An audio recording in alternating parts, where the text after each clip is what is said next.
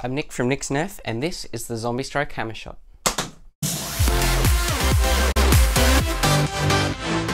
So the Nerf Zombie Strike Hammershot is a Hammer Prime 5-shot revolver. Because it's Hammer Prime, you can either use it with one hand and prime it with your thumb, or you can use your second hand and prime it down. So up front there is a sight and on top there is a top rail where you can put all your attachments and sights. If you want to put a massive sight on there you could.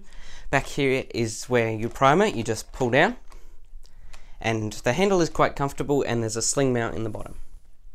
Overall, I think the Hammershot is very good. I would recommend picking one of these up if you find them. They're very easy to use two of them and they perform very well.